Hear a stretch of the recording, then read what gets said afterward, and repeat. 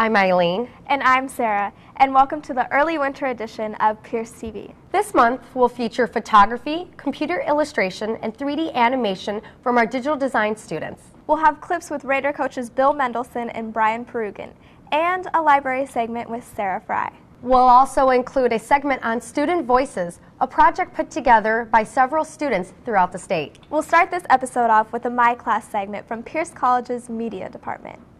From our veterinary technology program, here's Markiva Contris. Pierce College was the first veterinary technology program in the state. That's what I thought at first was the eosinophil. Yeah.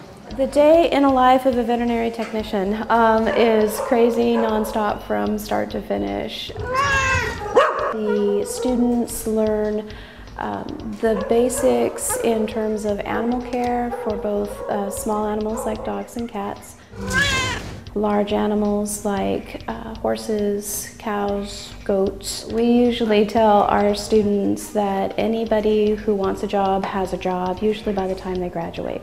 I think that you've got two platelets right next to it, which The could students just really love the hands-on skills. There's going to be lab work involved. We perform anesthesia. They act as surgical assistants. Um, they take radiographs. They perform all of the lab work. They take that into the laboratory and run all the blood chemistries. They, they do a lot of parasitology and urinalysis. We do have that hands-on feel, which is really brings a lot to the table here. The vet tech program at Pierce, I'd say, is a, the greatest opportunity in my life that I've had thus far. It's really changed what I've thought about uh, technical programs and the s- schooling that goes with it. Of course, you can't come into this program without loving animals, and uh, you have to have a lot of patience. The staff really makes it. Um, just the passion they have, it's it's really contagious. I've always liked science, and I've always liked uh, helping animals. It can be a high paced, stress filled day, but in the end, this is what you get. And so, yeah, there's, there's a lot to enjoy and a lot to love about being a veterinary technician. Here are some films from the digital design, 3D modeling, and animation class.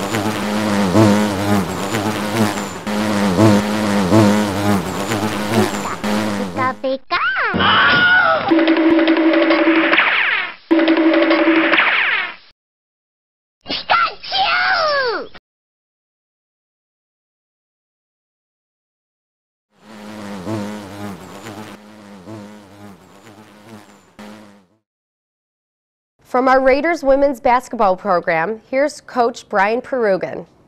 Hi, I'm Brian Purugganan, head women's coach here at Pierce College. We just finished our first season, and I believe we have set pace of a new attitude. The Lady Raiders are here to win. Our program is fundamentally based off the three A's academics, attitude, and ability. Academics, well, that's the reason why you're here to go to school. You're here to learn. That should be your number one priority. Attitude, well, your attitude is part of your character. That's your makeup. That's what's going to carry you through life. And if you have the ability, you're more than welcome to try out for our team. I've been coaching in the state of Washington, coaching women's basketball for the last 20 years. And I can truly tell you that coaching is a privilege. It's not a right. It gives me an opportunity as a coach to help develop young ladies to become better people and basketball players. And we appreciate that opportunity every day that we come out here on the hardwood to work with our young ladies. We would like you to have that opportunity to be successful in your future here at Pierce College and where you continue to go on with your education after Pierce. This past season was quite fun. We actually did turn a lot of heads, and in the second half, we won five of our last eight games, missing the NWAC tournament by two games. You know, our theme for this past season was our attitude will make the difference. And I can tell you what, I'm very pleased and excited about how we finished our season with our young ladies, putting the team together with very little of time. We are very excited about this next upcoming season. We're building a new tradition, striving for excellence in everything that we do, on the court and off the court. If you want to be part of something special, join in on all the excitement, Raider basketball. You're watching Pierce TV a production of the Digital Design Program at Pierce College. Up next is some artwork from students in the Digital Design Computer Illustration class.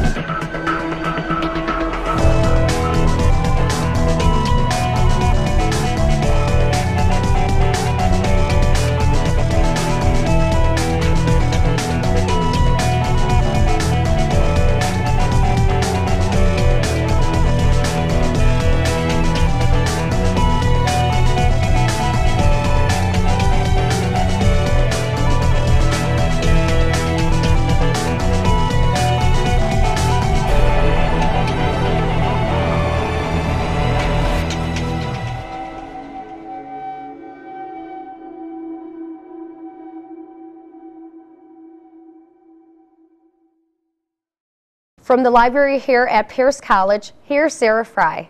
Hi, my name is Sarah Frye, and I'm a librarian at Pierce College, Fort Steilacoom. I want to help you discover what your library has to offer. Are you looking for a place to meet with a group, to study, or work on a project? Do you need a place that has lots of table space to spread out books or projects? Uh, maybe a computer area, whiteboards? Check out the library's Flex Zone, which is located behind the wood classroom. This area has lots of movable furniture to help accommodate your group's needs. All of the tables are on wheels. We have comfortable chairs, coffee tables, rolling whiteboards. This year, we'll also be getting tables that hook to a big screen TV for students to plug in their laptops to work on group presentations. If you're looking for a quieter place to work with your group, you can also reserve a group study room on the library's third floor. Call or stop by the borrow desk to set up a reservation. Here are some digital images from students in the Digital Designs Advanced Photoshop classes.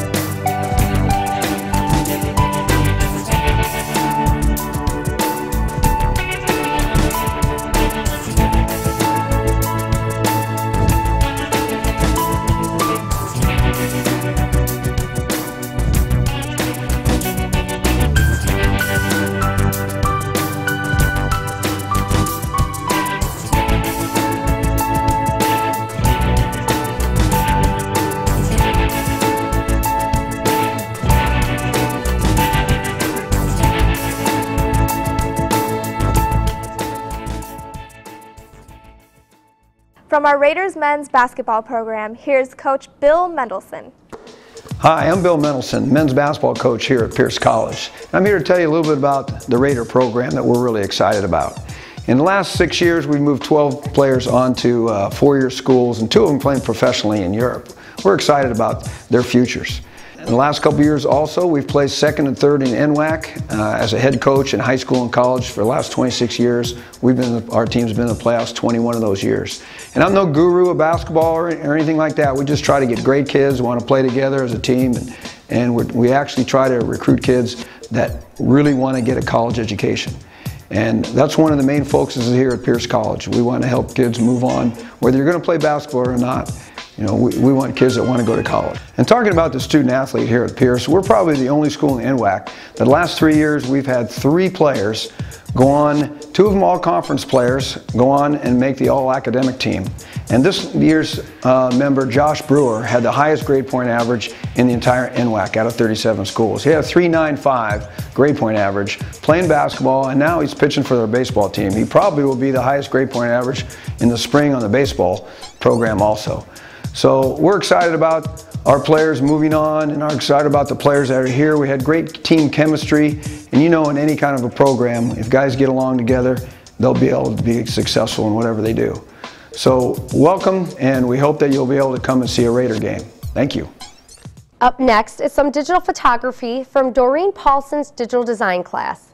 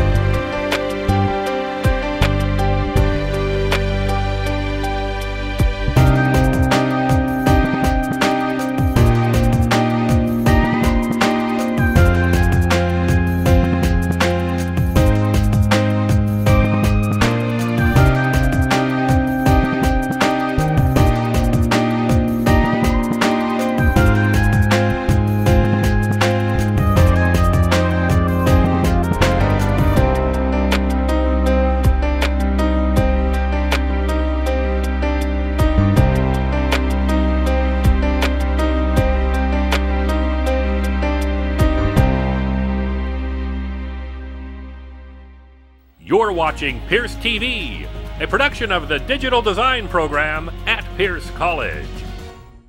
With the current economic climate, the state is making quite a few cuts in education.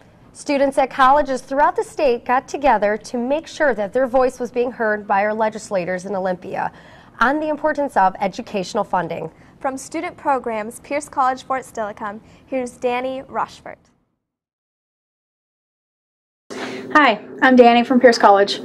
Um, me and my fellow students are here to talk to you about how tuition increases and education budget cuts are affecting us here at Pierce.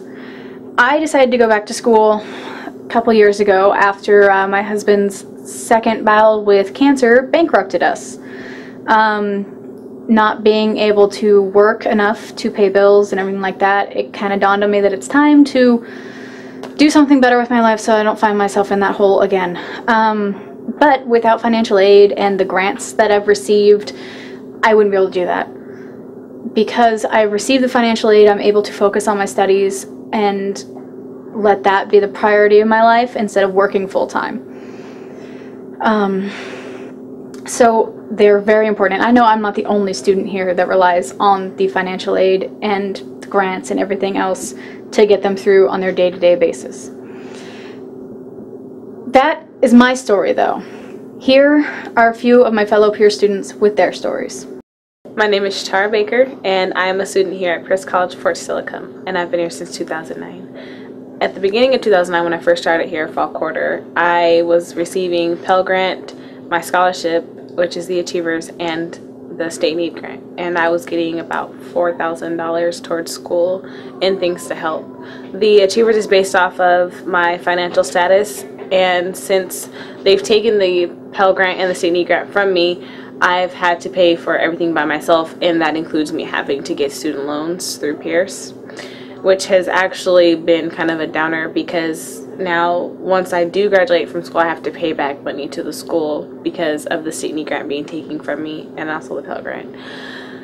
But since they're going to raise the price of tuition by what between 15 and 25 percent, it's going to be even harder because this up in, this up and coming quarter I'm going to have to pay $1,600 for four classes, which is actually pretty high for me and my family because we can't really afford that. So I'm going to have to get more, actually ask for more money for my student loans, which again is going to be really hard for us because that's something we have to pay back and we have other things we need to take care of. Not that school isn't important, but it really is important for me and what I want to do with my life. Um, I wish that this wasn't happening because it's already hard enough for me when I have to go to school and work and then study and then tutor. It's it's a lot of stress on students and I think that to raise it it's just going to add even more stress. My name is Evan Lish. I am a military veteran and student at Pierce College. I am also a member of the Honor Society. My future as a fully contributing member of society depends on being able to fund my education. I don't come from an affluent upbringing. Everything I have, I have earned myself. I did not draw unemployment. My life up to this point is a direct product of my own blood, sweat, and tears. I have aspirations, though. My goal is to earn a doctorate of business psychology. I want desperately to be one of those individuals that has a direct hand in repairing the ills that plague corporate America. For me to continue my education, I will need to rely on education loans and student aid. Please don't let my career come to a halt before it has ever reached full fruition. My peers and I are the future hope of the American way. Please don't throw away America's future. My name is Veronica Garcia and I go to Pierce College. This quarter, I couldn't afford to buy books for my classes because all I could afford was tuition. I spent the whole quarter borrowing other people's books and didn't always have what I need, needed to study for the exams because I didn't have the books. There's no way I could afford higher tuition costs, so please don't raise them. Hi, my name is Demetrius uh, Dennis. I'm a student here, or a previous student, new graduate of Pierce College. I originally came to Pierce College as a 32-year-old with two uh, teenage children, uh, one 16 and one 13. Uh, I currently uh, get financial aid, and I'm sure that without financial aid, I wouldn't be able to go to school. I would have to uh, more help take care of my children than I already do.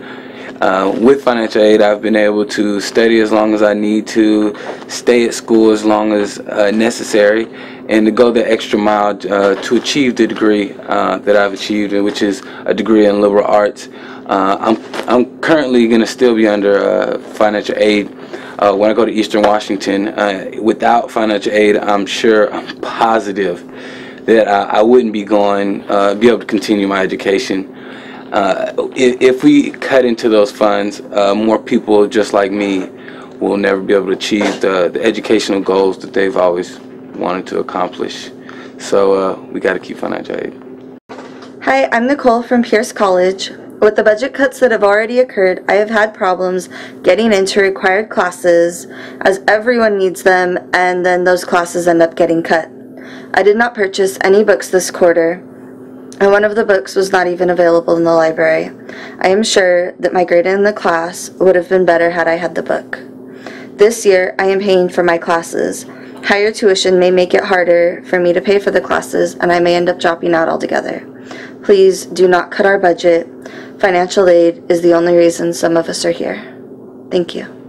In closing, I'd like to thank you for listening to our stories and ask you to keep in mind when the subject of education budget cuts and tuition increases comes to the table that we are only a few of the many students affected that chose to share our stories.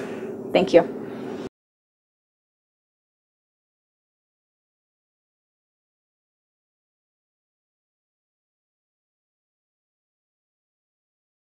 Thanks for watching. We'll be back in midwinter with another episode of Pierce TV. If you want to catch this episode again, it will be available on the web at www.pcd.edu slash pubs slash Pierce TV.